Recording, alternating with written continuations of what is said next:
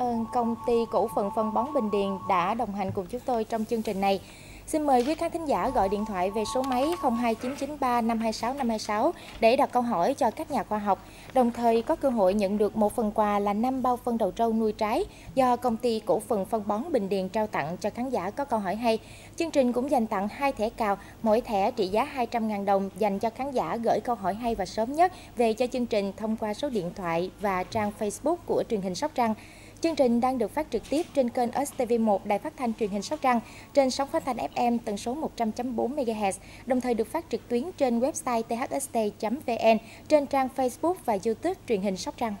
Hiện vừa tổ thư ký lại vừa đẹp, vừa ngọt lại vừa ngon. Chẳng cần phải lo toan, bón ngay phân nuôi trái. Phân đầu trâu nuôi trái Sử dụng 100% kali sunfat Bổ sung bắt kẽm Giúp trái giảm sượng, lớn nhanh, chín đẹp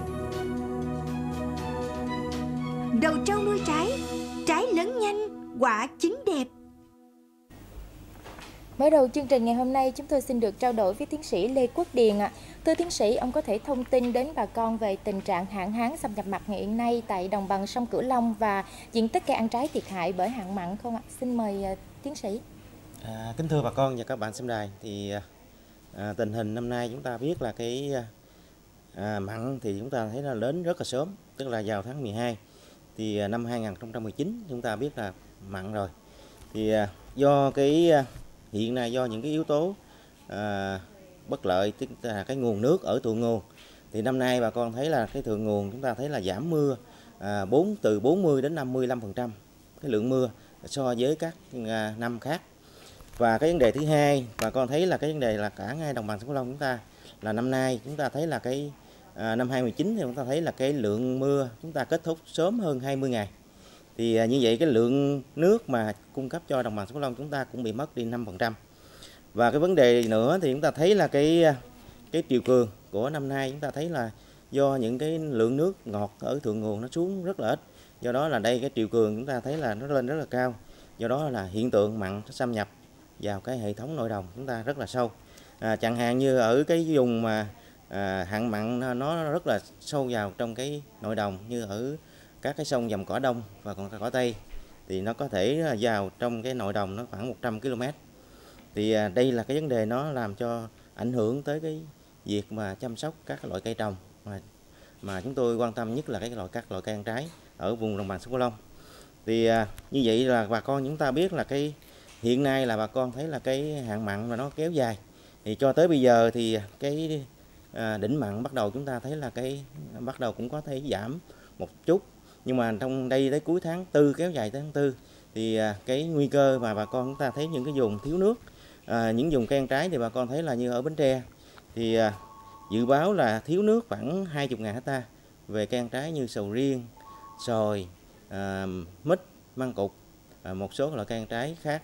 À, và cái vùng mà à, đặc biệt là ở Sóc Trăng chúng ta cũng ở hai cái vùng lớn là Cù Lao Dung và cái vùng thứ hai là cái vùng à, cây sách.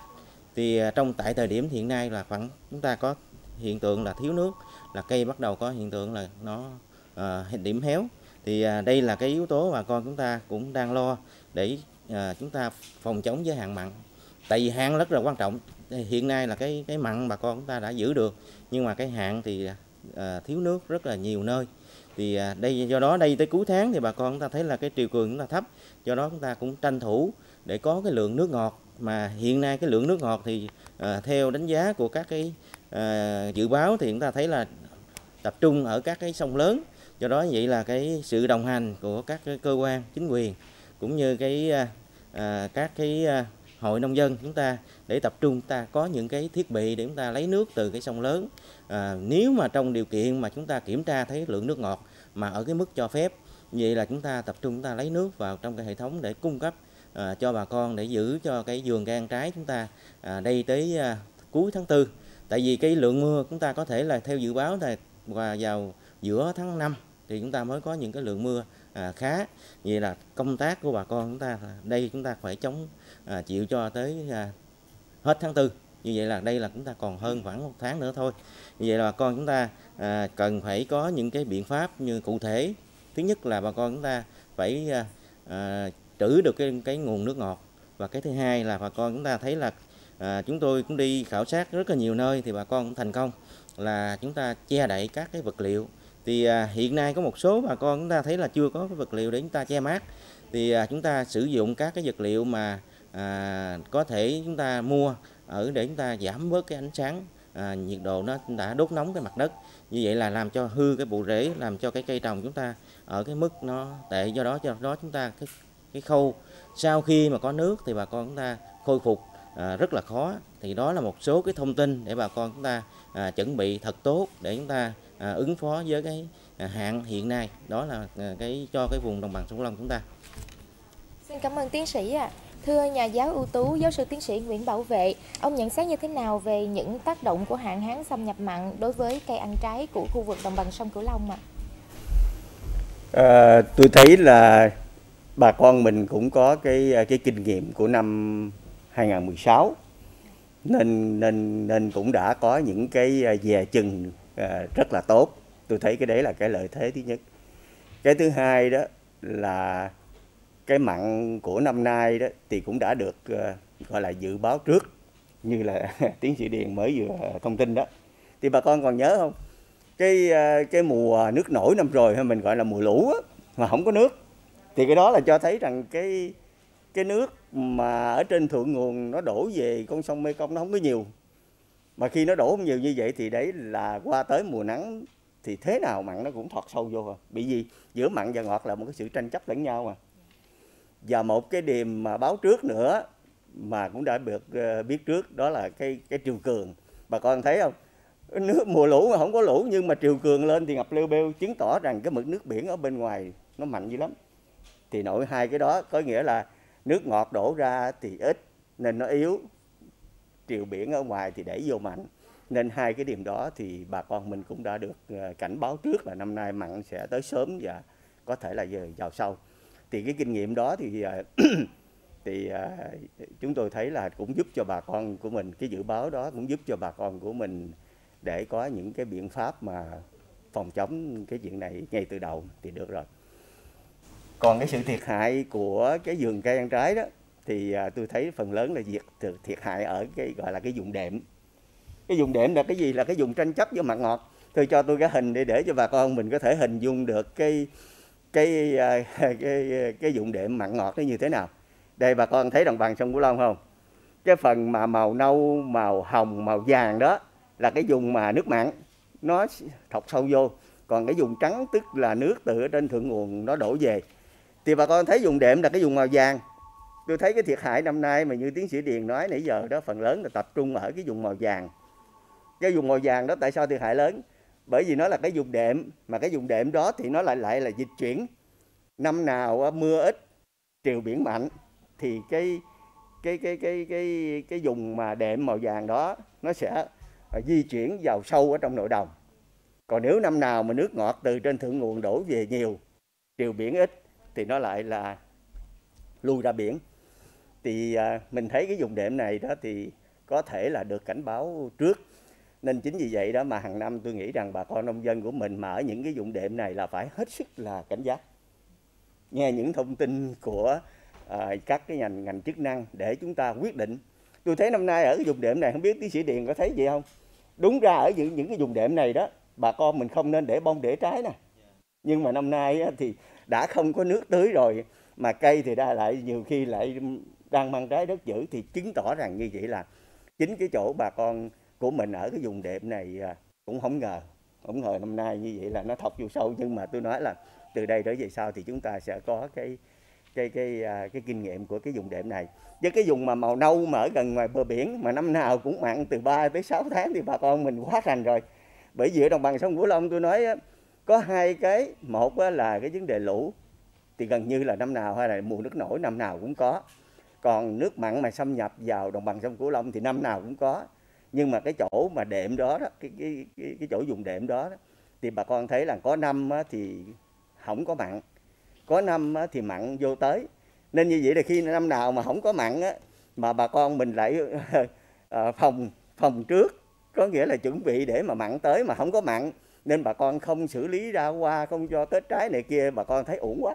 Vì mình, mình nói nếu mà như vậy mà nếu mà tôi có xử lý ra hoa kết trái thì có lẽ tôi có thu nhập thêm nhưng mà khi mà xử lý như vậy mà mình không theo dõi cái, gọi là cái thông báo của các cái ngành chức năng đó, thì nó như năm nay á, thì lại là mình trở tay không có kịp. Bởi vì canh tác ở cái vùng đệm này đó, khi mà chúng ta biết thông tin rồi thì cái chuyện trước tiên, đầu tiên đó là phải làm sao củng cố các cái đê bao ngăn mặn cho thật là tốt. Rồi sau đó là phải có cái cách để mà trữ nước cho được. Và đồng thời cái vùng đệm nó có một cái lợi thế nữa là bà con mình có thể canh triều để mà có thể bổ sung cái nguồn nước ngọt nói như tiến sĩ điền nói lúc nãy mà tôi cũng được cái thông tin ở bên cái bộ phận thủy văn đó. Họ cũng nói là cuối tháng 3 này và, và chồng qua tới đầu tháng 4 thì cái nguồn nước mà đẩy về sông Mekong nó sẽ tăng lên. Thì cái cơ hội cái vùng đệm này nhận được cái nước ngọt để mà bổ sung vô trong vườn của mình là có. Thì cái đấy là cái cái cái lợi thế. Và đồng thời chúng ta sẽ điều khiển cái cây của mình cho nó phù hợp trong cái điều kiện ở vùng đệm ở cái thời điểm mà mặn hay là ngọt để mà chúng ta tránh cái thiệt hại thì tôi nghĩ rằng cái đấy là cái mà bà con nông dân mình ở vùng đệm phải hết sức là quan tâm. Xin cảm ơn giáo sư tiến sĩ Nguyễn Bảo Vệ. Và trước những tác động của hạn mặn đối với canh tác cây ăn trái tại đồng bằng sông Cửu Long thì phóng viên truyền hình Sóc Trăng cũng đã có ghi nhận được tình hình đang diễn ra tại nhà vườn ở huyện Chợ Lách, tỉnh Bến Tre. Chúng ta cùng theo dõi ngay sau đây. Từ một tháng rưỡi qua, ngày nào ông Nguyễn Văn Tài ở thị trấn Chợ Lách, huyện Chợ Lách, tỉnh Bến Tre cũng phải mua nước ngọt tưới cho vườn sầu riêng của mình. 1,5 mét khối nước giá 200.000 đồng. Mỗi ngày vườn sầu riêng 2.000 mét vuông của ông cần 2 mét khối nước. Nhưng bấy nhiêu đó cũng chỉ là tưới cầm chừng, giữ cho cây không khô hạn, chứ chuyện cả vườn sầu riêng bị ảnh hưởng là điều không thể tránh khỏi. Thiếu nước thì nó cũng phải trái lá rồi. Mình à, cũng đi mua nước về mình tưới à, vô chứ mà nếu không tưới mình thấy nắng quá mình cũng à, sót quá mình à, phải mua nước tưới mà nếu không tưới thì nó cũng khô để khô nó cũng chết mà rồi lấy tưới à, nước mặn thì vô thì nó cũng chết lẹ nữa Ngoài việc tưới nước cầm chừng, ông Tài còn dùng cỏ và lá khô phủ gốc sầu riêng để tránh bốc hơi nước, đồng thời ngắt bớt bông trên cây. Nhưng đó chỉ là những giải pháp tình thế. Nếu tình trạng hạn mặn còn kéo dài, ông Tài không khỏi lo lắng cho vườn sầu riêng của mình. Ở nước mặn thì mà cũng bắt buộc giờ phải đi mua nước thôi à. Đi mua nước về mình à, tưới cầm chừng vậy à. Chứ à, còn thì mình cũng có xe, xe nè, mình thùng này mình đi chở, à, chỗ nào chỗ nào có nước ngọt á mình tới mình chở. Mình đi chở phải chi phí á Rồi như mình công ăn chuyện làm mình như mấy ngày mình mà cũng được thì mình mới bỏ đi chở nước rồi gì mình lo ba cái cây nè. Bỏ thì sợ nó hư. Hiện tại thì mương nước quanh khu vực vườn sầu riêng của ông Tài đã khô cạn. Mương còn nước thì độ mặn cao, nhà vườn không thể sử dụng tưới cho cây trồng. Khô hạn sẽ qua đi, mưa sẽ đến, nước ngọt sẽ về. Cây cần phục hồi nhanh, cây cần ra hoa và cây cần nhiều trái đẹp. Giải pháp thông minh cho nhà vườn, hãy chọn bộ sản phẩm cho cây ăn trái đầu trâu một hạt mới với vi lượng kẽm thông minh giúp nhà vườn giải quyết mọi lo toan. Đầu trâu AT1 giúp cây phục hồi nhanh, đầu trâu AT2 giúp cây ra hoa đều, đậu trái tốt, đầu trâu AT3 giúp trái lớn nhanh, quả chín đẹp. Giải pháp thông minh cho nhà vườn Thưa kỹ sư Ngô Ngọc Mỹ, với những bất lợi về điều kiện canh tác như hiện nay thì về phía công ty cổ phần phân bón Bình Điền có những giải pháp gì để chia sẻ cùng bà con không ạ? Dạ, xin cảm ơn. Dạ, kính thưa bà con à, nông dân, trước à, cái hạn mặn nó xâm nhập vô đồng bằng sông Cửu Long thì à, công ty cổ phần phân bón Bình Điền rất là thông cảm với những cái thiệt hại, những cái mất mát của bà con về các cái giải pháp để chúng ta có thể ờ, khắc phục cái phần nào trong cái ờ, giai đoạn hạn mặn thì như ờ, tiến sĩ Nguyễn Bảo Vệ cũng như anh Điền đã trình bày thì một trong những cái biện pháp nó rất quan trọng là chúng ta cố gắng bằng mọi cách chúng ta giữ không có cho cái nước mặn nó vào trong trong cái mương, trong ao, trong hồ của chúng ta. Và tuyệt đối cái là chúng ta không bao giờ lấy cái nước mặn để tưới lên cây. Và một cái điểm nữa đó là chúng ta phải canh nó có những cái giai đoạn nó có cái nước ngọt về và cái lúc đó là chúng ta lấy chúng ta trữ ở ở trong cái cái à, ao hồ chúng ta và chúng ta sử dụng cái biện pháp uh, thủ gốc. Ngoài ra nó còn một cái biện pháp nữa đó là khi chiều mát đó bà con sử dụng cái bình phun phun thuốc từ sâu á, nhưng mà cái bình phun động cơ bà con cứ sử dụng cái nước ngọt vào chiều mát bà con cứ phun lên lá cây phun ướt đẫm á, bữa sau là cây nó sẽ tỉnh lại. Thì cây trong cái trường hợp mà nó bị hạn mặn như vậy chúng ta cứu nó sống chứ chúng ta không thể nào mà chúng ta đạt cái năng suất như là trong cái à, cái cái, cái giai đoạn trong cái mùa vụ mà nó không có bị mặn được. Nhưng mà thà chúng ta cứu cái cây đó sống năng suất nó thiệt hại còn hơn là chúng ta phải phá bỏ cái vườn đó để à, chúng chúng ta trồng mới lại thì chúng ta tốn kém rất là nhiều thì với cái biện pháp này, công ty cũng có chia sẻ cho nhiều cái nhà vườn và người ta đã giúp cái cây người ta gượng lại được, tức là cây nó không chết và sang năm thì khi có nước ngọt thì người ta sẽ cố gắng người ta phục hồi cái cây của người ta lại để cho tăng sức. yeah. Xin cảm ơn kỹ sư ạ. À. Thưa quý vị và các bạn, hạn hán xâm nhập mặn năm nay được cho là khốc liệt chưa từng có trong lịch sử. Nếu như đợt hạn mặn năm 2016, các tỉnh Bến Tre, Vĩnh Long, hạn mặn chỉ mới xâm nhập vào trung tâm tỉnh lỵ, thì hạn mặn năm 2020 đã trầm trọng hơn nhiều. Không chỉ riêng cây sầu riêng, mà nhiều diện tích cây ăn trái khác trên địa bàn huyện Chợ Lách, tỉnh Bến Tre cũng bị thiệt hại. Chưa đến mức phải mua nước tưới như ông Nguyễn Văn Tài, nhưng vườn chôm chôm của ông Nguyễn Bái Vàng ở xã Sơn Định, huyện Chợ Lách, tỉnh Bến Tre cũng đang điêu đứng vì hạn mặn. Với diện tích 1.800 m2 đất trồng chôm chôm, nguồn cung cấp nước tưới hiện nay lấy từ mương đào quanh vườn, độ mặn dao động từ 0.5 đến hơn 2 phần ngàn. Trước hết là coi như là cái ờ, nước nó xâm nhập cái vô mặn là nó nhiễm cái cây, và từ cái cây bắt đầu nó mới hút lên, lên thân đọt, nhánh, là bắt đầu nó trái lá từ từ từ từ bắt đầu nó mới hư tới cái trái luôn nếu tình hình hạn hán xâm nhập mặn còn tiếp diễn, ông Giang ước tính vườn cây của ông có thể thiệt hại hơn 50%. Một số nhà vườn khác trong vùng đã khoan cây nước sâu 400m để lấy nguồn tưới cho cây chôm chôm, nhưng độ mặn vẫn khá cao. Còn ông Giang chưa biết phải liệu tính thế nào trong thời gian tới. Nhớ hồi ờ, năm 2016 thì nó lên được mấy ngày, à, đâu phải chừng 10 bữa hay nhiêu. Mà ờ, cái hạn mặn của nó thì nó cũng không đến nổi gì mấy.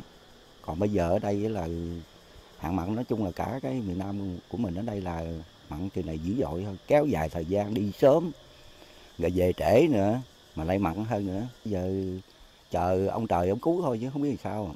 Chỉ có trời cứu thôi. Nếu mà cái hạn mặn này mà kéo dài tới nó phải chừng 2 tháng, tháng mấy 2 tháng nó cũng nguy cấp rồi. Không chỉ ảnh hưởng đến sự phát triển của cây, đặc biệt là cây đang trong thời kỳ mang qua trái, làm cây sinh trưởng kém, giảm năng suất, mà những tác động từ biến đổi khí hậu còn làm gia tăng dịch hại trên cây trồng. Khi mà cái cây bị ảnh hưởng cái điều kiện khắc nghiệt nào đó thì thì rõ ràng là cái sức sinh trưởng của cây nó yếu đi và khi mà Ờ, cây mà yếu đi thì những cái dịch hại nó có cái điều kiện ờ, nó phát triển, đặc biệt là trong những cái điều kiện nắng nóng à, hay là à, nước mặn chẳng hạn, thì à, là một số cái sâu bệnh nó sẽ phát triển rất là nhiều. Đây cũng là những cái thách thức cho nhà vườn trong cái điều kiện ờ, thiếu nước và cái cây thì họ phải cần nước và muốn cho hoạt động trở lại thì thì cái cây là phải mạnh do vậy thì cái sử dụng cái phân bón rồi cái thuốc trừ sâu nó cũng hạn chế do vậy mà cái dịch bệnh trong cái thời điểm biến đổi khí hậu hay là trong cái thời điểm hạn mặn này nó thường cao và nó cũng ảnh hưởng rất là lớn đến cái sản xuất của người dân. Huyện Chợ Lách có 8.575 hecta cây ăn trái đặc sản, trong đó có những giống cây chủ lực như sầu riêng, chôm chôm, măng cụt, bưởi da xanh. Theo dự báo của ngành nông nghiệp huyện, tình hình hạn mặn kéo dài sẽ làm ảnh hưởng đến hơn 5.000 hecta vườn cây ăn trái toàn huyện. Vừa to lại vừa đẹp, vừa ngọt lại vừa ngon. Chẳng cần phải lo toan, bón ngay phân nuôi trái. Phân đầu trâu nuôi trái sử dụng 100% kali sunfat, bổ sung bắt kẽm, giúp trái giảm sượng, lớn nhanh, chín đẹp. Đầu trâu nuôi trái Trái lớn nhanh Quả chín đẹp Thưa giáo sư tiến sĩ Nguyễn Bảo Vệ, khi chúng ta nói về biến đổi khí hậu thì không chỉ riêng chuyện hạn hán xâm nhập mặn ạ. À. Vậy thì cụ thể khi mà tác động của biến đổi khí hậu đã tác động rõ nét đến đồng bằng sông Cửu Long thì người nông dân và các nhà vườn sẽ phải à, đối mặt với những thách thức gì và liệu có giải pháp gì để ứng phó thưa giáo sư? À, nói về ảnh hưởng của cái à, biến đổi khí hậu thì à, hồi nãy giờ chúng ta cũng bàn về cái vấn đề mặn. Mà mặn thì nó sẽ dẫn tới cái chỗ là không nước tới thì không dám tưới thì bị hạn. Nhưng mà bà con biết rằng cái biến đổi khí hậu đó không chỉ đơn thuần là cái việc là nhiệt độ tăng rồi nó làm mực nước biển dâng lên nhưng mà nó làm thay đổi cái gọi là cái thời tiết cực đoan. Cái thời tiết cực, cực đoan bà con thấy chẳng hạn như là cái El Nino đó tức là hạn hán không mưa như là năm rồi hay là năm 2016 đó thì El Nino nhưng mà còn cái cái khí hậu cực đoan này nó còn dẫn tới cái chỗ là nhiều khi lại mưa quá nhiều. Mà mưa quá nhiều đó thì bà con thấy là cái vấn đề là trong cái mùa mưa mà mưa nhiều thì nó dẫn tới là cái lũ lụt. Thì cái chỗ này đó như năm rồi à, khi mà mùa nước nổi mà không có nước hay là mùa lũ mà không có nước về thì nhiều bà con nói, thôi, mình thay đổi cái cách đi. Tôi cũng đã nói như thế này. Tuy rằng năm nay đó là mưa ít, mà trên thượng nguồn thì cái đập thủy điện thì nhiều. Mưa ít thì đập thủy điện nó lại giữ nước, thành ra lại càng thiếu nước. Nhưng mà những cái năm biến đổi khí hậu thì nó, gọi là, thời tiết cực đoan. Có những năm như vậy là mưa quá nhiều. Mà mưa quá nhiều rồi đập thủy điện nó lo, nó xả nước, thì lại dưới này lại ngập lêu bêu. Nên cái vấn đề mà cô Hệ Yến hỏi cái biến đổi khí hậu thì bên cạnh hạn mặn thì nó còn cái gì nữa là tôi nói coi chừng cái vấn đề là cái nước nó lại có những cái năm mà mưa nhiều quá mà trên đó mà đập thủy điện nó xả đó không? Thì ở dưới này là mình cũng phải đối phó với cái vấn đề là lũ lụt. Nên bà con đồng bằng sông cửu long của mình ở những cái tỉnh mà thượng nguồn như an giang rồi à, đồng tháp rồi một phần ở đầu trên của tiền giang hay là long an này kia đó, thì chúng ta cũng phải à, nghĩ tới cái chuyện đó chứ không phải là cái biến đổi khí hậu là chỉ đơn thuần là cái tác động của nó là mặn cái xâm nhập vào nó mạnh mẽ không? Thì cái đấy là cái mà chúng tôi thấy rằng bà con mình cũng phải là lưu ý. Còn bây giờ à, cô hỏi tôi giờ cái vấn đề là ứng phó. Nhưng mà tôi tôi thì lại nghĩ rằng cái thích ứng hơn là cái ứng phó. Ứng phó là mình đợi cho nó xảy ra rồi. Chẳng hạn như năm nay mình đợi cho nó xảy ra rồi. Rồi bây giờ mới tính cái chuyện để mà ứng phó coi như nó thế nào. Có nghĩa là mặn xâm nhập vô hay là nước nổi, nó dơ về nhiều quá rồi mình phải ứng phó ra làm sao? Chẳng hạn như trước đây ứng phó mình làm những cái đê bao chống lũ rồi trạm dân cư vượt lũ rồi bây giờ nếu mà mặn xâm nhập vô thì ta lo, ta đắp đập chỗ này chỗ kia để chặn rồi này kia không? Thì tôi nghĩ rằng cái ứng phó như vậy đó thì bây giờ cái à, tôi thấy là bên à, ừ, cái nghị quyết, trong cái nghị quyết của chính phủ thì cũng có đặt ra cái vấn đề là ngay cả cái vấn đề mặn thì cũng coi nước mặn, nước lợ là một cái tài nguyên nên là nãy cái bản đồ đồng bằng sông cửu long đó, tôi nghĩ rằng là chúng ta sẽ phải làm sao xác định được cái vùng nào là cái vùng mặn thường xuyên để có những cái cơ cấu cây trồng cho nó phù hợp trên cái vùng đó. Ngay cả trên cây ăn trái, bà con biết cái vùng mà hồi nãy tôi nói cái vùng mà đỏ ao đó, thì ở bên phía bờ biển tây đó nó cũng là màu nâu, có nghĩa là gần như là không có cái nguồn nước của sông mekong. Nhưng mà bà con ở bên đó vẫn có thể trồng cây ăn trái được. Nhưng mà với điều kiện sao? Bởi vì ở bên đó đó thì cái mùa mưa nó tới là 7 tháng nữa, chứ không phải là 6 tháng như là ở bên phía bờ biển đông. Như vậy là chỉ có 5 tháng là không có mưa với cái thứ hai nữa là cái triều biển bên kia nó có 7 tấc à. Nên bà con của mình ở bên đó trồng cây ăn trái mà không có cái nguồn nước của sông Mekong như vẫn trồng được là người ta đã chuẩn bị sẵn những cái đoạn kinh mà có thể nói qua tới cái mùa mà mà mà mà, mà cạn kiệt đó là người, nghĩa là bắt đầu dứt mưa một cái là người ta đắp người ta giữ nước ngọt nguyên một cái đoạn kinh như vậy để mà phục vụ cho cái việc tưới cái vườn cây ăn trái trong cái mùa mưa. Nên như vậy là bà con thấy rõ ràng là cái cái cái cái vấn đề mà cái vùng mà bị mặn mà thường xuyên như thế này thì chúng ta phải có những cái gọi là cái cơ cấu cây trồng thích hợp tức là thích ứng hơn là cái ứng phó. Còn cái vùng mà vùng đệm mà như tôi nói đó thì bà con mình cũng phải tính trước tính trước không phải đợi cho tới chừng mà chúng ta bị rồi chúng ta mới tính.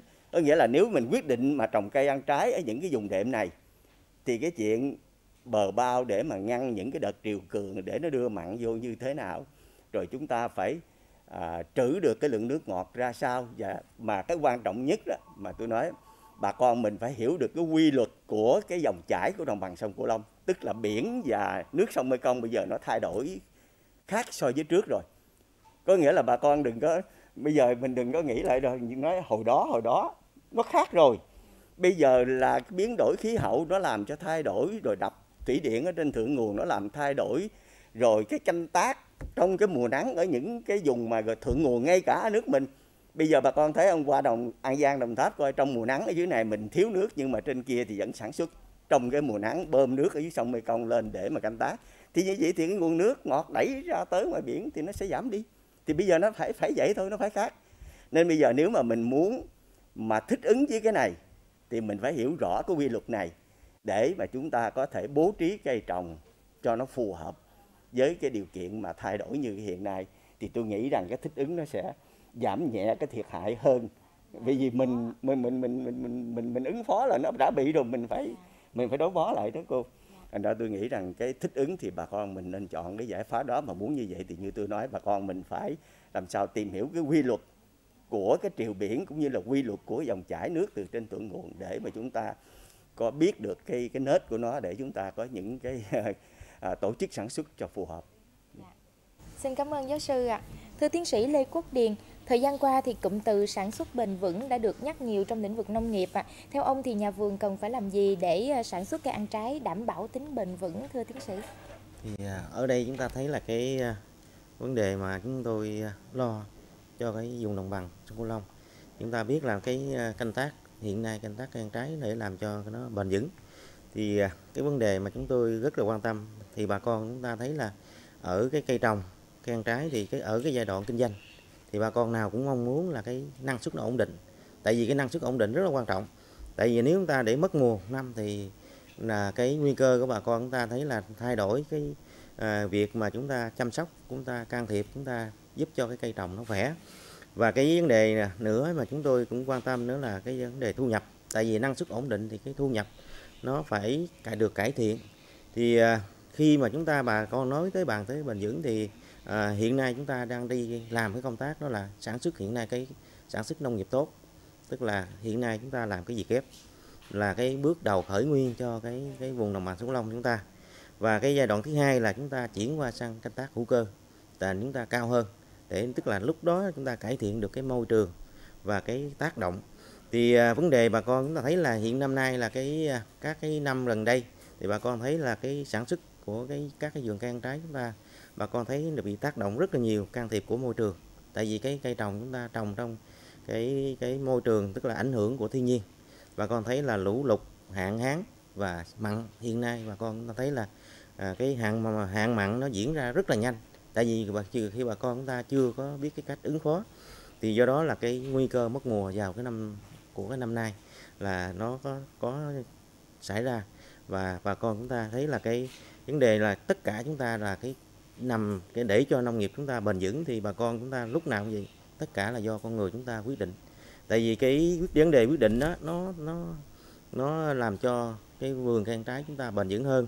Tại vì bà con hiện nay là cái khâu mà cái, về cái khâu mà bà con chỉ phân phối về cái hà, cái lượng nước tưới mà hợp lý thì bà con chưa có nghĩ ra. Tại vì hiện nay bà con đôn đáo là làm sao để chúng ta có cái nguồn nước mà cung cấp dồi dào như xưa nữa thì à, bà con biết là hiện nay nó không còn như xưa nữa đâu. Như thì à, về đã cũng đã cung cấp cho chúng ta à, một cái thông tin. Vì là chúng ta thấy là hợp lý. Thì chúng tôi cũng có đi sang cái đảo của Nhật, ở cái đảo Okinawa. Và con biết là cái toàn bộ xung quanh đảo đó là nước biển không? Và như vậy nhưng mà người ta vẫn cân đối được cái cái phân phối được cái nguồn nước hợp lý để chúng ta phục vụ cho các cái cái vườn cây ăn trái và cái cái nước sinh hoạt như vậy là ở Nhật Bản thì tại sao họ làm được? Chắc chắn chúng ta cũng phải nên tìm hiểu vấn đề này. Tại vì ở Đài Loan họ cũng làm được. Như vậy vấn đề đồng bằng sông Long chúng ta à, chỉ có ngồi chúng ta à, để chúng ta đánh giá về cái cái lượng nước. Tại vì à, hiện nay cái khâu mà bà con chúng ta thấy là chúng ta bỏ qua cái khâu mà tái sử dụng nước sinh hoạt. Tại vì mỗi một ngày bà con chúng ta sử dụng nước sinh hoạt rất là lớn. Như vậy là cái nguồn sinh hoạt nước sinh hoạt này bà con không tái được sử dụng. Do đó bà con bỏ luôn do đó là nó hòa lẫn với nước với nước mặn vậy là chúng ta chưa có sử dụng hiệu quả cái nguồn nước này. Do đó trong thời gian tới thì chúng tôi sẽ à, tập trung phối hợp với các cái tỉnh mà mà như à, chúng ta thấy là à, vừa rồi cái cái chương trình thủ tướng cũng rất rất là ứng phó rất là nhanh. Do đó cho cả cho năm tỉnh chúng ta mỗi một tỉnh được 70 tỷ để chúng ta cung cấp cái lượng nước ngọt. Chúng ta à, tạo những cái ao hồ à, để trữ nước à, trong cái thời gian tới thì à, đây là cái ứng phó của rất là nhanh của chính phủ và bộ nông nghiệp.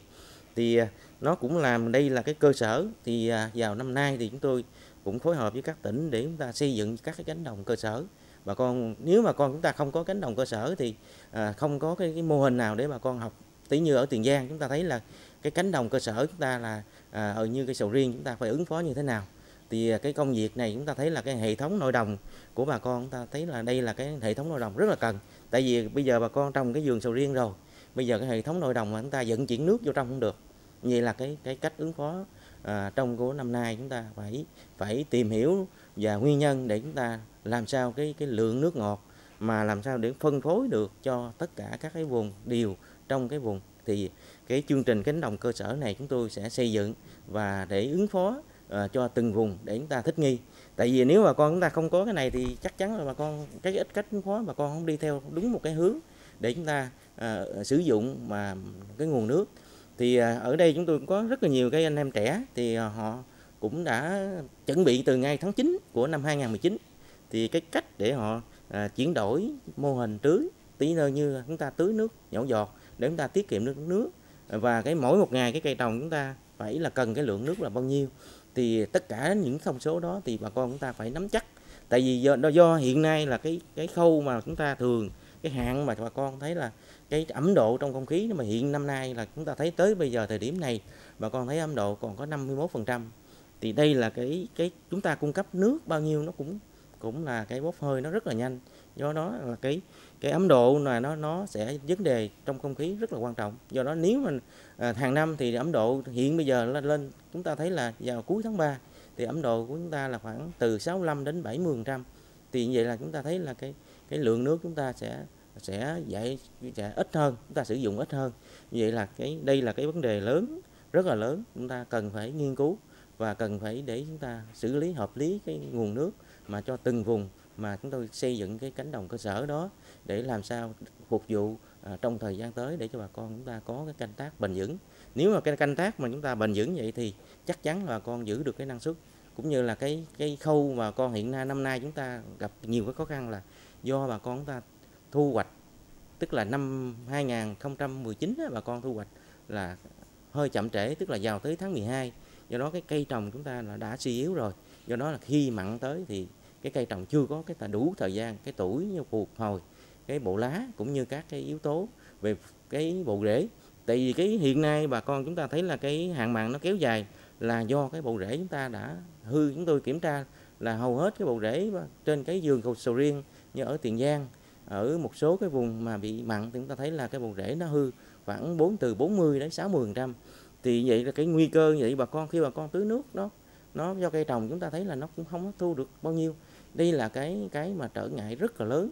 À, do đó cái công tác mà ứng phó chúng ta à, cũng còn rất là nhiều cái trở ngại. Do đó chúng tôi sẽ chuẩn bị à, thật kỹ để chúng ta có những cái chương trình để giúp cho bà con tạo những cây phẻ mà cái cây phẻ là cái giai đoạn cuối cùng là chúng ta phải sử dụng cái phân hữu cơ.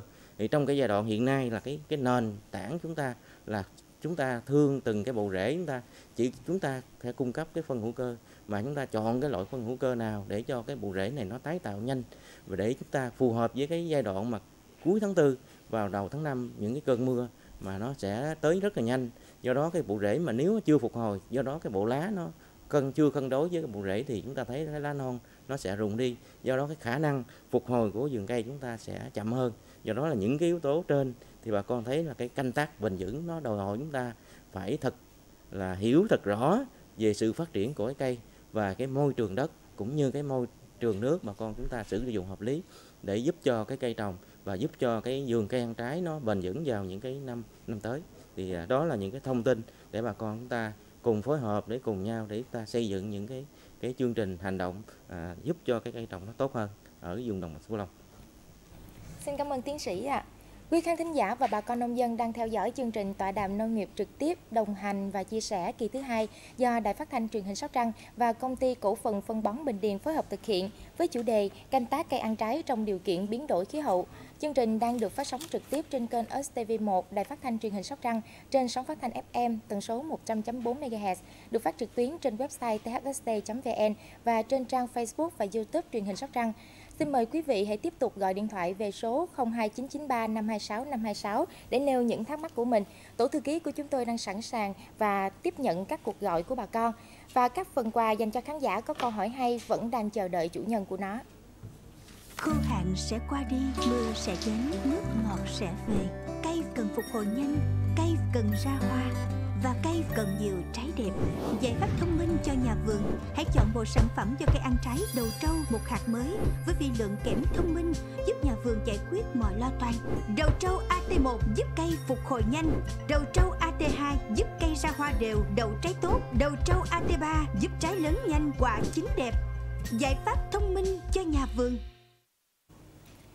Tiếp tục chương trình xin được dành thời gian để trả lời cho bà con gửi câu hỏi về cho chúng tôi ạ. À. Đầu tiên là câu hỏi của nông dân Lê Văn Nghiệp ở tỉnh Kiên Giang. Xin được nhờ giáo sư tiến sĩ Nguyễn Bảo Vệ và kỹ sư Ngô Ngọc Mỹ à, trả lời câu hỏi ạ. À. Và thứ nhất là xin được nhờ giáo sư tiến sĩ Nguyễn Bảo Vệ ạ. À. Cây sầu riêng và cây măng cụt chịu được độ mặn bao nhiêu phần ngàn? Nếu cây sầu riêng đang có bông làm như thế nào để cây chịu được hạn mặn? Tôi sử dụng màng phủ đậy dưới gốc có chống được mặn hay không? Và nếu sử dụng rơm rạ màng phủ thì côn trùng có chích thuốc cổ rễ hay không? Tại sao độ mặn cao thì cây chết, độ pH cao thì cây tốt ạ? Xin được nhờ giáo sư tiến sĩ Nguyễn Bảo Vệ tư vấn cho nông dân Lê Văn Nghiệp ạ. Em à, nghiệp biết là cái cây à, sầu riêng và cái cây măng cục á, thì à, được xếp vào cái loại mà nó cũng là rất là nhát với lại cái cái điều kiện bị bị mặn. Thì bây giờ tôi nói là bà con mình à, khi mà trồng cây ăn trái đó thì chắc cũng không cần phải à, hỏi cái độ mặn đâu. Bởi vì cái lời khuyên của tôi là ở trong cái mương giường của mình là nhất định là không cho bất kỳ một cái độ mặn nào để mà đưa vô hết trơn. Mà nếu như bây giờ á, cái cây của mình bây giờ nó đang cần nước mà ở ngoài kinh rạch của mình đang bị mặn thì tôi cũng khuyên bà con mình thôi cũng đừng có nghĩ rằng à chẳng hạn như mình nói cái cây bưởi nó có cây bưởi da xanh nó có khả năng chịu mặn tốt. Thôi mình cứ đưa nước mặn vô mương giường để mình tưới đi. Bà con nhớ cái chỗ đó, là giữa hạn với mặn. Nếu mà cái cây mà bị hạn thì nó có thể là hư ở trong cái thời điểm nghĩa là nó có thể là suy ở trong cái thời điểm mà bị hạn thôi. Nhưng mà qua cái thời hạn đó rồi thì cây nó phục hồi lại một cách bình thường giống như là ở cái cây mà xứ lạnh vậy đó, tới cái mùa đông lạnh quá nó cũng không có lấy nước lên, nó uống được nên nó rụng lá trơn, nó đứng trơ như là một cái cây chết vậy đó. Nhưng mà tới chừng mùa xuân tới rồi, nhiệt độ ấm áp cái là nó đâm chồi nảy lọc, nó phát triển nó bình thường. Nhưng bây giờ bà con nóng ruột, bà con thấy nó thiếu nước như vậy, bà con bây giờ đưa nước mặn vô để mà tưới thì có hai cái nguy hiểm. Nó sẽ để lại cái di chứng. Cái cây trồng mà bị mặn rồi đó, bà con biết là bà con phục hồi lại, nó nó rất là khó nghĩa là rễ nó bị tổn thương rồi nó hút nước mặn vô nó bị ngộ độc. Mà còn cái ngộ độc nữa là cái ngộ độc cho đất. Bởi vì khi mà đưa nước vô mương vườn giá chẳng hạn như độ mặn có 0,5 phần ngàn hay là một phần ngàn thôi. Nhưng mà khi nó vô ở trong mương giường rồi bà con biết á, là nó ngắm ở vô trên cái bờ liếp. Xong rồi á, là nó kéo lên trên cái mặt liếp. Nước bốc hơi đi mặn tích tụ lại đó. Nó tích dần tích dần trong suốt cái mùa nắng thì bà con thử nghĩ là cái đất đó cái di chứng đó nhiều khi bà con phải rửa mặn rất là nhiều năm sau đó mà cây nó cũng vẫn không có thể nào tốt được. Nên nếu mà trong trường hợp đó thì tôi khuyến khích à, tôi à, khuyên em nghiệp á, là đừng có tính tới nghĩa là một cái độ mặn nào mà kéo vô mương giường mình để tha là để cho cây của mình nó nó bị hạn nhưng mà sau đó nó phục hồi được. Đất vẫn không sao hết trơn. Bị gì thiếu nước. Đất không sao tới chừng có nước đó lại. Thì đất nó vẫn là bình thường cây nó vẫn bình thường. Nhưng mà đưa mặn vô một cái là hư cả hai hư cả đất hư cả cây. Thì cái đấy thì em lưu ý còn bây giờ em hỏi gì chứ ờ, bây giờ nếu như mà cái cây sầu riêng mà đang có bông thì làm thế nào để chịu đựng được cái ờ, cái hạn mặn? Mặn thì chắc là không được rồi rồi mình dứt khoát không được vô. Bây giờ cái hạn cái hạn thì như nói nếu mà em ở cái vùng đệm thì phải canh cái thời điểm mà triều, nước triều mà cho cái nước ngọt về, tức là biển nó rút xuống, nước rồng nó đẩy nước mặn từ ở trong ở trên thượng nguồn về, thì lúc đó em có thể là bổ sung để để lấy nước. Hoặc là em sử dụng cái gì? Sử dụng những cái chất mà có thể tăng cái lực hút nước. Còn ít ỏi ở trong cái đất clip để mà cho cái cây nó chịu đựng, nhưng mà chỉ một thời gian ngắn thôi. Cái hormone prasinolit á, cái hormone đó em lưu ý. Và đồng thời em cũng xử lý cây với những cái chất chẳng hạn như là canxi, rồi có cả silic để tăng cái khả năng mà chịu mặn của cái cây. Cái này có lẽ là kỹ sư mỹ cũng sẽ trao đổi với bà con của mình cái cái cái loại mà đầu trâu mặn phèn đó, phải anh mỹ? Thì để cho bà con mình có thể nghiên cứu mà đưa thêm vô trong cái điều kiện. Mà với điều kiện là bà con phải có nước tưới nha. Bởi vì đưa phân xuống dưới đất rồi là phải có nước tưới thì nó tan ra thì nó mới ta, hỗ trợ cho cái cây chống lại cái điều kiện mặn được. Rồi em hỏi tôi vậy chứ sử dụng màng phủ che dưới gốc có chống được mặn không? Cái mặn thì làm sao mà nó ngấm vô trong trong đất liếp là sao chống được? Ở đây người ta tủ á, là để giảm đi cái lượng nước ngọt ở trong cái đất liếm nó bị bốc hơi. Nên mình dùng mọi cái vật liệu trong đó cả cái màng phủ nông nghiệp nữa. Chứ còn cái mặn thì à, nó vô trong mương vườn rồi thì nó ngấm nó vô trong đất liếp mà đúng là như em nói nếu mà mình để nó bốc hơi thì nó sẽ tăng cái độ mặn lên chứ nó chứ cái, cái, nếu mà không có cái màng phủ thì nó thoát hơi nước nhiều nó sẽ tăng cái độ mặn lên còn cái rơm rạ thì có à, côn trùng chích hút làm hư bộ rễ không? Thì tôi chưa thấy cái tác động này. Nên em có lẽ là vì tôi cũng đã khuyến cáo và bà con mình cũng đã tủ trên rất là nhiều loại cây thì cũng không thấy cái cái ảnh hưởng này. Còn cái câu cuối cùng hỏi tại sao độ mặn cao thì chết? Mà pH cao thì à, tốt.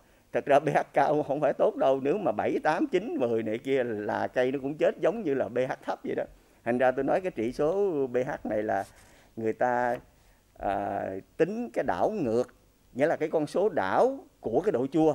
Thành thử ra nghĩa là đảo có nghĩa là chua nhiều thì đảo lại có nghĩa là cái trị số pH nó sẽ thấp. Mà cái trị số pH càng cao thì nó lại ít chua. Nhưng mà cao hơn nữa thì nó chuyển qua kiềm thì lại hư cây. Thì ra tôi nói vắn tắt gì để em hiểu. Còn cái độ mặn cao thì em hiểu rồi. Cái độ mặn tức là cái lượng muối ở trong à, cái dung dịch mà mình đo đó. Xin cảm ơn giáo sư ạ. À. Thưa kỹ sư Ngô Ngọc Mỹ, vậy thì công ty có loại phân bón nào để cho cây khôi phục trước hạn mặn hay không ạ? À? Nhà kính thưa bà con, thì à, về các cái nguyên tố dinh dưỡng đó mà à, để hạn chế cái cái việc à, khô hạn cũng như cái mặn đó thì à, hai cái nguyên tố trung lượng rất là quan trọng đó là cái canxi và cái uh, silic thì à, chúng ta biết cây trồng của chúng ta đó nó có rất là nhiều cái tế bào. Và cái canxi đó là cái thành của cái vách tế bào. Thì chúng ta hình dung cái nhà chúng ta có nhiều cái phòng thì mỗi một cái phòng như vậy đó nó là một cái tế bào. Thì cái cục gạch ống mà để chúng ta xây cái cái phòng của chúng ta đó thì nó như là cái canxi đó nó là cái thành phần để tạo nên cái vách tế bào. Còn cái silic đó thì chúng ta thấy vuốt trên cái lá lúa nó nhám mà cái lá mít nó nhám á, là cái chất silic. Thì cái cây khi mà nó có đủ được cái canxi và silic đó thì nó giống như cái phòng của chúng ta sau khi có những cái cục gạch thiệt là tốt rồi. Và chúng ta sẽ tô thêm một cái lớp hồ bên ngoài nữa thì cái thành cái vách của cái phòng của chúng ta nó rất là cứng rất là chắc.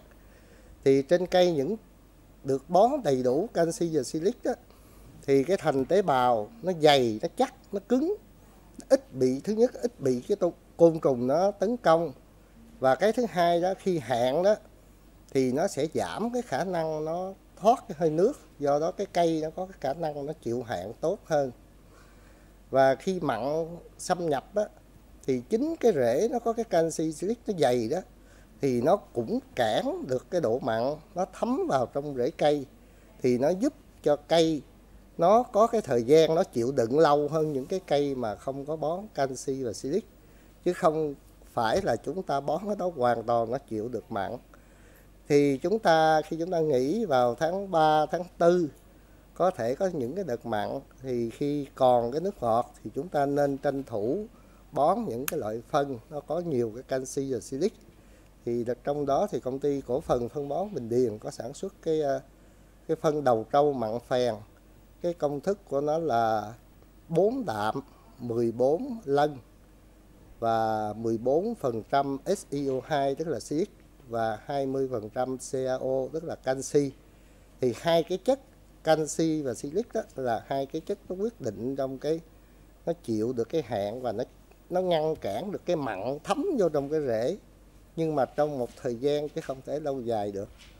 Và riêng có cái à, 14% lân thì đối với những cái vùng mà nó có phèn nhiều, chính cái lân này nó cũng cũng như giáo sư tiến sĩ ờ, Nguyễn Bảo Vệ có có thường định mà cái lân này nó giống như là cái lân thí để nó nó nó nó nó cố định với cái sắt với cái nhôm ở trong đất và để cho cái sắt nhôm nó không có gây độc cho cái ờ, cây trồng của chúng ta thì hai, thì cái sản phẩm này coi như là cái sản phẩm nó có cái giá trị đối với hạn và mặn. Cảm ơn kỹ sư ạ. À. Thưa tiến sĩ Lê Quốc Điền, nông dân Nguyễn Văn Tiền ở Ôn Môn Cần Thơ có câu hỏi xin được nhờ à, tiến sĩ giải đáp ạ. À. Là cung cấp dinh dưỡng cho cây ăn trái trong mùa hạn mặn với nhiệt độ cao thì có cách gì với thời tiết mùa gió bớt lạnh và nhiệt độ xuống thấp cũng như là mùa mưa lũ ngập úng hay không? Những chất dinh dưỡng nào cần thiết cho cây trong mùa hạn mặn để duy trì sức khỏe cho cây được tốt hơn ạ? À? Xin mời tiến sĩ. Dạ, kính thưa anh, à, anh, anh Tiều thì ở đây chúng ta thấy là cái việc cung cấp dinh dưỡng cho cây trồng ở trên cái à, mùa hạn mặn cũng như cái, các cái điều kiện mà anh đã mô tả, tỉ như nhiệt độ thấp hoặc là ngập lũ, thì bà con thấy là cái việc cung cấp dinh dưỡng là cái cây trồng đối với cây ăn trái, đặc biệt là cây ăn trái, thì nó phải đi theo một cái quy luật của cả năm chứ không phải là chúng ta thấy là làm gì làm, chúng ta phải, cũng phải đi theo một cái quy luật. Tại vì cái cây trồng chúng ta phải qua cái từng cái giai đoạn, một là cái giai đoạn nuôi lá, là chúng ta cũng phải tuân thủ theo cái giai đoạn nuôi lá. Thứ hai giai đoạn ra hoa chúng ta cũng phải áp dụng và giai đoạn cuối cùng là nuôi trái. Vậy là khi mà cái vấn đề mà cái hạn mặn mà nó rớt vào cái giai đoạn mà thường bà con thấy là ở giai đoạn cuối năm và là, là và đầu năm cuối năm của năm trước và đầu năm của năm sau thì bà con thấy là cái giai đoạn này là do bà con trước đây là thì bà con chúng ta thấy là à, cái công tác mà chúng ta rải dụ là bà con rải dụ vào cái thời thời điểm này bà con thu hoạch. Thì bà con thấy là nó hiệu quả nhưng mà bây giờ đối với giờ thì chúng ta phải rải dụ nhưng mà chúng ta phải kết thúc sớm. Tại vì rải dụ là là chúng tôi hiện nay chúng tôi đề xuất là rải dụ làm sao kết thúc hết tháng 11 tại vì nếu hết tháng 11 là chúng ta thu hoạch thì đây là cái giai đoạn mà thời điểm lý tưởng nhất cho cái đối với cái vùng cây trái chúng ta. Tại vì chúng ta có còn thời gian khoảng một tháng là bà con để phục hồi cái bộ rễ. Tại vì hiện nay chúng ta thấy là cái cái cây ăn trái mà bà con à, nuôi trái vào giai đoạn mà trong cái điều kiện hạn mặn thì ở nhiệt độ cao thì bà con hiện nay thiếu nước nữa do đó là hiện nay bà con chúng ta nếu mà con chúng ta cung cấp dinh dưỡng mà vào giai đoạn này thì do đó cây trồng cũng không có ăn được. Do đó là hiện nay chúng ta ứng phó là nội cây trồng uống nước không mà không đủ. Làm sao mà chúng ta thấy có đủ để chúng ta tưới cái, các cái loại phân bón. Thì à, do đó là cái tháng 11 là cái tháng mà chúng ta cần phải cung cấp các cái loại dinh dưỡng để giúp cho cây trồng nó phục hồi nhanh. Thì à, các cái cây các cái loại dinh dưỡng thì người ta thường các các cái chuyên gia của chúng ta khuyến cáo thì bà con thường cái giai đoạn vào giai đoạn này thì bà con chúng ta áp dụng các loại phân có cái hàm lượng kali à, như chúng ta chẳng hạn như nitrat kali hoặc là hàm lượng các cái loại phân canxi. À, canxi để giúp cho cái bộ rễ nó à, cái bộ lá nó nó dày và cái à, các cái bộ rễ nó phục hồi nhanh.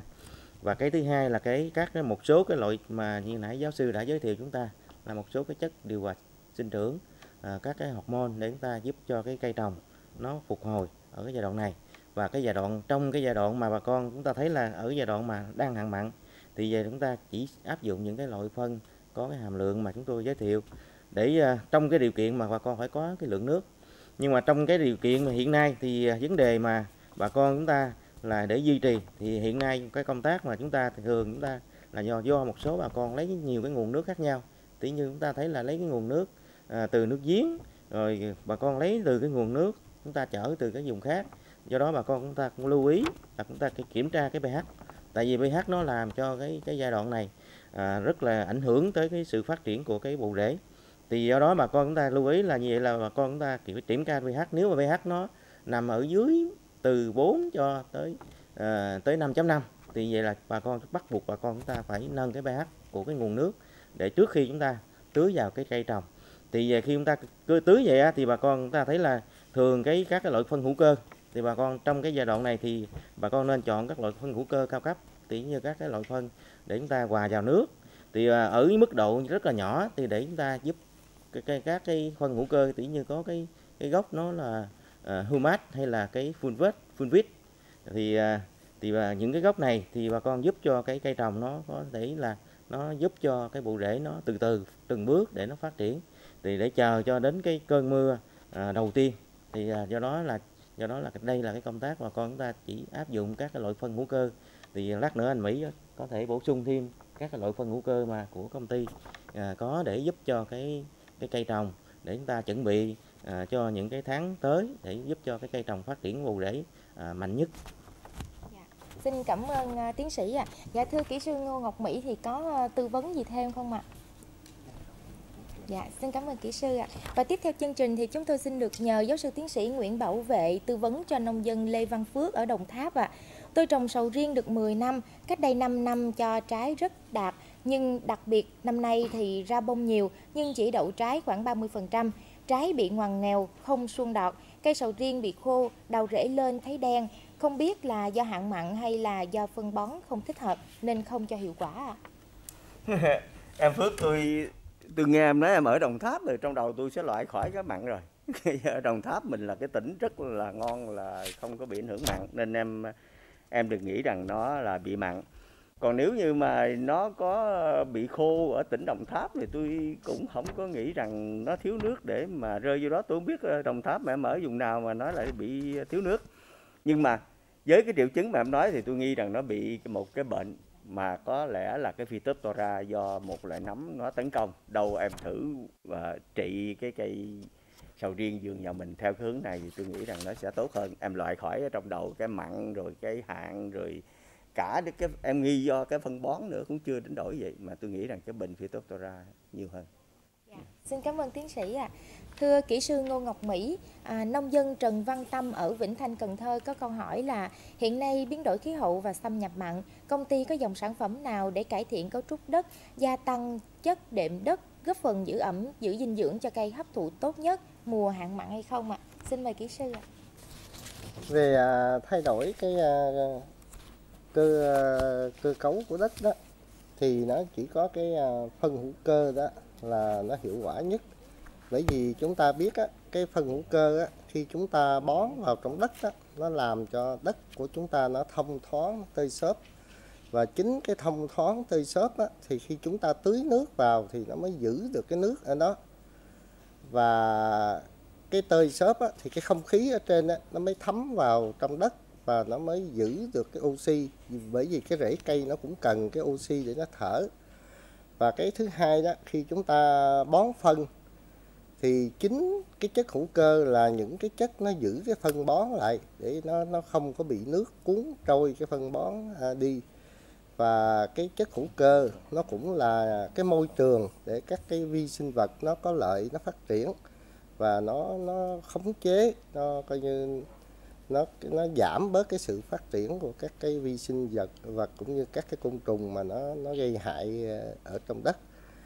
Thì à, công ty cổ phần phân bón Bình Điền thì nó có rất là nhiều cái sản phẩm hữu cơ và trong đó nó có nhiều cái cái cái hàm lượng à, trung lượng vi lượng và tùy theo cái loại đất và tùy theo cái loại cây trồng thì nó cũng có chia ra làm làm vài cái nhóm như vậy thì nói chung là những cái phân hữu cơ có mang cái nhãn hiệu đầu trâu thì bà con đều có thể mua sử dụng được và tùy theo cái vùng đất của mình thì mình chọn lựa cái loại phân hữu cơ thích hợp Xin cảm ơn kỹ sư ạ. À. Tiếp theo chương trình, chúng tôi xin được nhờ tiến sĩ Lê Quốc Điền tư vấn cho nông dân Trần Văn Thành ở Bến Tre à.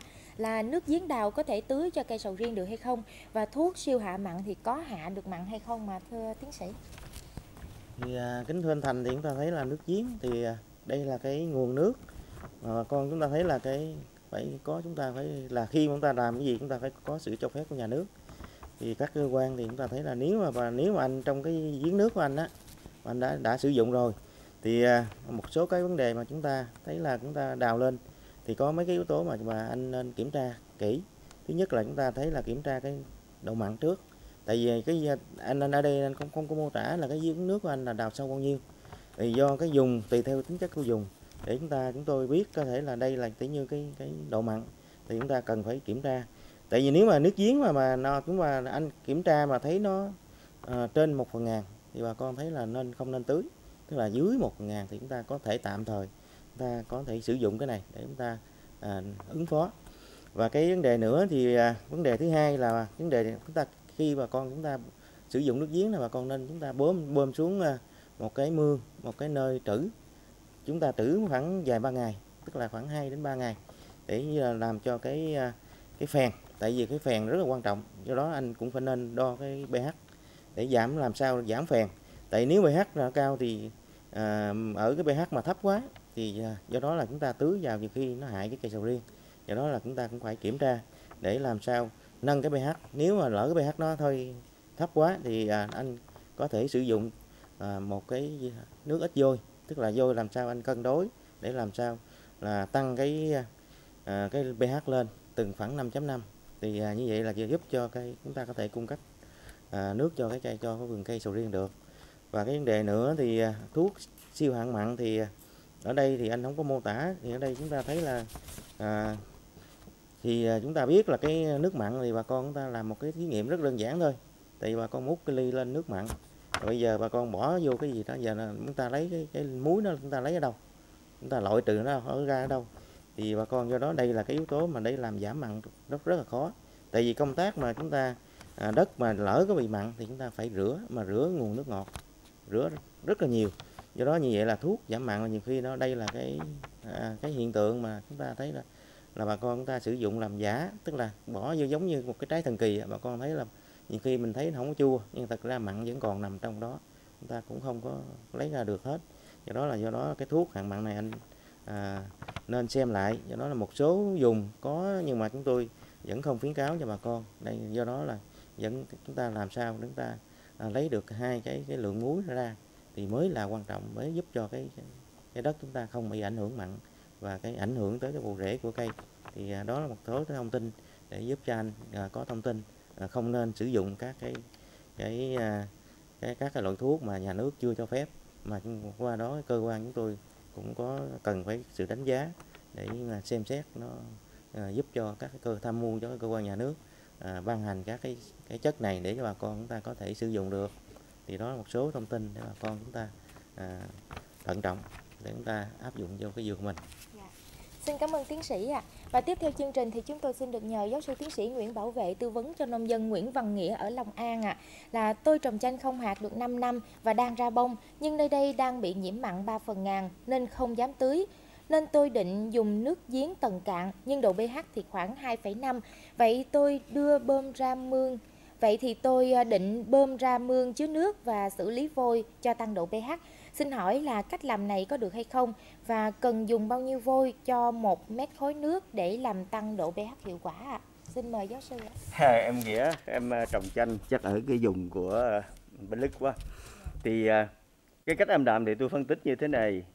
À, 3 phần ngàn em không tưới là nước mặn có 3 phần ngàn không tưới là tốt rồi. Bây giờ em lấy cái tầng nước giếng ở bên dưới em đưa lên trên một cái nơi chứa để ờ, giống như là cái ờ, tiến sĩ điền nói lúc nãy đó thì tôi đồng ý rồi. Bởi vì cái chất sắt mà nó ở trong đó khi mà em đưa lên nó bị ờ, oxy hóa nên mình loại nó được. Còn cái đó pH thấp dưới 2,5 thì em dùng vôi thì cũng đúng rồi. Bây giờ em hỏi bao nhiêu thì tốt nhất em mua cái, một cái giấy đo pH thôi cũng được 10 ngàn 80 cái cái tờ thì em cứ là cho vô, vô rồi uh, sau đó là em mà vô á em có thể là làm như thế này. Em quậy nước ở trên trước rồi em tạt nó ở trên cái uh, cái mương đó chứ bây giờ hay là lúc em bơm lên đó thì em để cái bao vô rồi sau đó là em kiểm tra dần dần cái độ pH nếu mà thấy khoảng trên 6 là mình dùng tốt rồi. Còn uh, nhưng mà có một cái là cảnh báo em là em nhớ đo cái độ mặn vì tôi mới được báo là cái à, tầng nước mà cạn ở những cái vùng của mình đó là độ mặn có thể là 0,5 phần ngàn đó. Thành ra em cũng phải lưu ý đo đo đo mặn cái nữa. Nếu mà mặn thì thôi đừng được ờ, em sợ mặn ở ngoài sông mà em kéo mặn ở dưới nước giếng lên trong tưới cũng vậy cũng được. Xin cảm ơn giáo sư ạ. à. Kính thưa quý khán thính giả và bà con nông dân, chúng ta đã trải qua gần một giờ trao đổi với các nhà khoa học và có rất nhiều câu hỏi của bà con về những vấn đề gặp phải trên cây ăn trái đã được tư vấn trực tiếp. Và tuy nhiên thì do thời lượng của chương trình có hạn cho nên chúng tôi xin được khép lại phần tư vấn tại đây. À, còn bây giờ thì xin được chúc mừng quý khán giả có câu hỏi hay nhận được quà của công ty cổ phần phân bón Bình Điền. Đó là khán giả Nguyễn Văn Nghĩa ở Long An, số điện thoại 0357 345 939. Và tiếp theo là hai khán giả có câu hỏi hay và sớm được nhận quà là hai thẻ cào, mỗi thẻ trị giá 200.000 đồng từ chương trình. Xin chúc mừng khán giả Lê Văn Nghiệp ở Kiên Giang, số điện thoại 0814 661 665 và khán giả Nguyễn Văn Tiền ở Ô Môn, Cần Thơ, số điện thoại 0768 882 321. Chương trình tọa đàm kỳ này xin được khép lại tại đây. Xin được cảm ơn các nhà khoa học đã tham gia cùng với chương trình và xin được cảm ơn công ty cổ phần phân bón Bình Điền đã đồng hành cùng chúng tôi trong chương trình này. Cảm ơn quý vị khán giả đã dành thời gian theo dõi chương trình. Xin hẹn gặp lại trong những chương trình kỳ sau. Xin kính chào tạm biệt.